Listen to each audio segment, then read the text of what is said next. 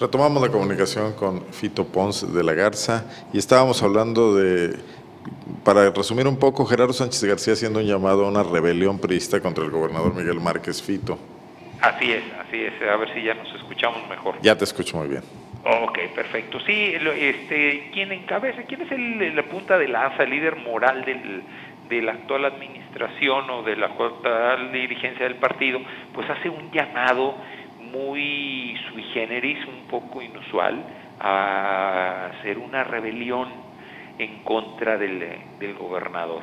Eh, yo lo quiero entender de la siguiente manera, y, los vimos en los últimos días.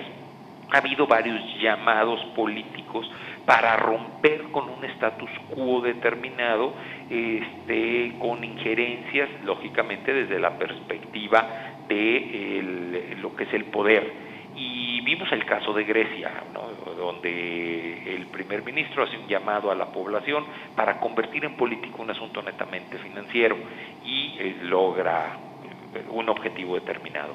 Vimos el caso de Donald Trump, que hace lo suyo también, pero también vemos el otro estilo que es este llamado que pretende hacer. Oye, Fito, te voy a interrumpir, hermano. Se me hacen comparaciones si lo de Gerardo Sánchez se me hace que fue un borrachazo, ahí estaba echándose unos tequilas a la ribera del Lerma en Salvatierra, ¿no? Permíteme. Digo, Donald Trump merece todos eh, mi, temor porque es un multimillonario norteamericano que tiene un gran peso, sobre todo en los medios de comunicación, de que sea tan hostil a los latinoamericanos. Pero Gerardo Sánchez creo que rayó en el ridículo, nadie le hizo caso. ¿eh? No, a lo que estoy haciendo no es el personaje, sí. Sino estamos viendo los estilos de los llamados, los tipos de llamados que puede haber. Esta antipolítica, digamos. Exactamente. Entonces, en este, en este, claro que hay que guardar la... la este, proporción. La proporción, ¿no? De, de un Gerardo Sánchez Ah, fíjate que a lo mejor el de Donald Trump también fue un borrachazo. ¿eh? No, yo creo que también es otro borrachazo, pero bueno, ese es otro boleto. Este, no, hay que analizar el, el, mensaje nada más, ¿no? De lo que pretenden, que es romper con un status quo, es aprovechar ciertas este, coyunturas políticas para en su beneficio. En el caso de Gerardo, eso es lo que él hace, pretende a través de una insurrección, de un boicot hacia un curso que es impartido por gobierno del Estado, este, decirle, señores, yo aquí mando, yo soy el que va a controlar a O sea, la negociación es conmigo, fue lo que quiso decir. La negociación es conmigo, pero cuando no tienes la fortaleza, cuando no tienes el control, cuando no tienes el liderazgo, cuando no tienes las circunstancias ni una estrategia para hacer eso, pues simple y llanamente salió lo que salió, que nos dimos cuenta pues que nadie lo peló. Entonces, eh, aquí eh, es grave. Cuatro alcaldes no asistieron al curso, uno dijo que tenía una graduación de su hijo, tres más son muy cercanos a él, es, Salvatierra, es Santiago Marabatío, es Jaral del Progreso. Que ese es realmente quizás su gente. Entonces, eh, vamos a concederle al hijo de, que tuvo la graduación, vamos a concederle el beneficio de la duda. Mas, sin embargo, a los otros tres de plano no lo asistieron y no, no asistieron porque ahí sí no hubo ninguna otra excusa y son cercanos al grupo de Gerardo Sánchez. ¿Qué pasa en ese momento? Que esa es realmente la fuerza que tiene Gerardo. Ahí demostró que no tiene control sobre ninguno de los demás y que los demás quizá vieron y dijeron quién pretendió y quién hizo un acto similar bueno, fue en León el caso de Bárbara Botello, tratando de boicotear en lo que pudo el gobernador. ¿Y, qué sucedió? Bueno, pues ya vemos este... O sea, repite Gerardo Sánchez errores que ya probaron eh, sus graves consecuencias en el caso de Bárbara. y que él no ha aprendido. Entonces lo único que, que provocó fue que su borrachazo o su este delirio extremus en ese momento este lo que sucede es que le provoca una derrota seria desde la perspectiva. O sea, una segunda derrota, porque ya había tenido una primera el 7 de junio. Esa, esa, correcto, así es, esa es electoral. Y acá estamos hablando de una derrota política, donde lo sitúa realmente en el nivel en el que políticamente está. Y eso le está provocando un debilitamiento, no nada más a él, sino al PRI, le está haciendo más daño al PRI. Eso es lo que yo estoy viendo con eso. ¿Y qué tanto daño le hace a Santiago ahora que hay una rebelión? O sea, cuando desde su propio bando, en lugar de enfrentar lo que está ocurriendo, buscar a los periodistas, buscar diálogo, lo que sea, para romper ese, ese circuito ahí de reproches, lo que hacen es lanzarse a una aventura contra el gobernador, como una especie de fuga hacia adelante. Se me figura el Quijote contra el molino de viento, ¿no? Luchando por un ideal que solamente él lo trae en la cabeza y... O por una idea, es más idiático que idealista, ¿no? Un sueño guajiro, ¿no? Que, que lo trae y nada más trae a, a su Sancho Panza atrás, este, consecuentándole todo. Entonces, este, esa es la figura que, que me puede dar. O sea, esto ya marca que la próxima fracción prista en el Congreso, en la 63 legislatura, pues va a llegar como ha sucedido en, en, estos anteriores congresos dividida. Ya hay dos fracciones, los de Gerardo Sánchez y los otros. Gerardo Sánchez, sus gentes que son tres, y este y los otros, el resto, que son cuatro, ¿no? Quizás cuatro, porque Irma Leticia González, creo que se llama, de Irapuato, también se le vio ahí tomándose la foto con, con Gerardo Sánchez.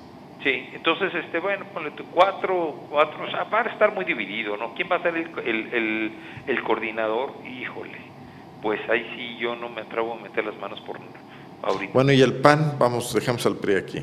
Y el PAN, el PRI. que ya... El PAN, bueno, ya ve la luz al final del túnel. Está viendo su proceso, ya le quedan pocos días, están viendo este eh, la luz al final y bueno, y aparecen actores que no estaban ni siquiera en, la, eh, sobre, en el escenario, ¿eh? como el caso de, de Humberto Andrade, que, que, es raro el estilo de, de él para que aparezca porque acuérdate que Humberto siempre va muy a la segura, no le gusta la, competición, no le gustan los caminos este, empedrados, le gusta todo muy suavecito, muy terso y realmente este, ya muy planchado.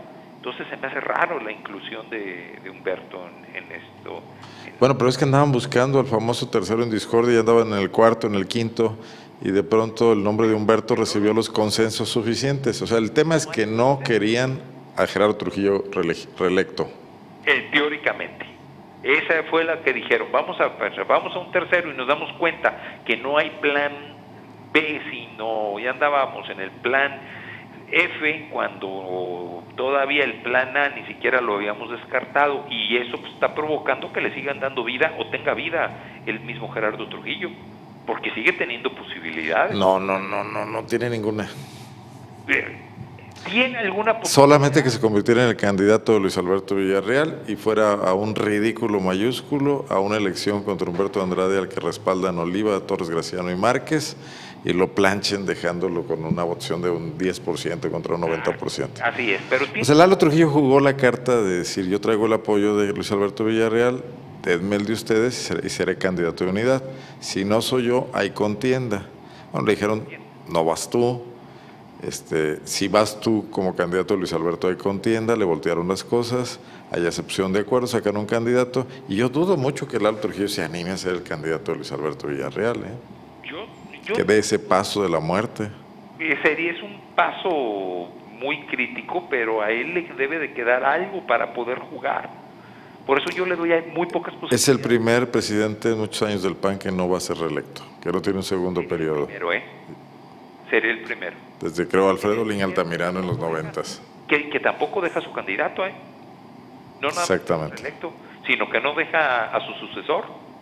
Sí, yo creo que en buena medida el problema de Trujillo fue que en su intento de conciliación se fue de más y prácticamente benefició muchísimo a lo que se conocía como el Grupo de la Loma, Ricardo Sheffield, Luis Alberto Villarreal, Mayra Enríquez, antes era el doctor Córdoba y Javier ya no.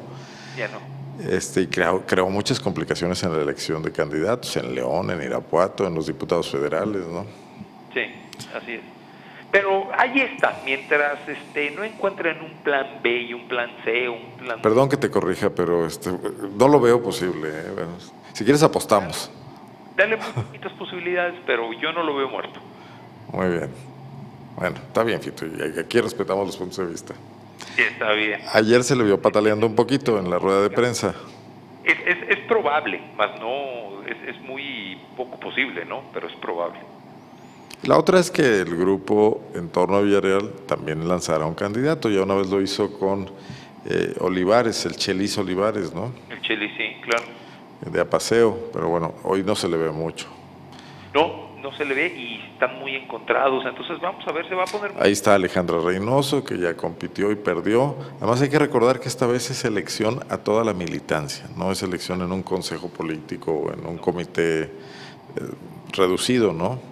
Así hay que ver quién realmente tiene el control de, esos famosos grupos. De esas... Y la elección sería el 16 de agosto, cuando todavía no toman posesión los nuevos alcaldes, los nuevos diputados. Si tú me dijeras, Luis Alberto Villarreal ya está en el cargo en San Miguel, en Salamanca Antonio Redondo, en Irapuato Ricardo Ortiz, pues a lo mejor tienen con qué, ¿no? Pero en agosto todavía no.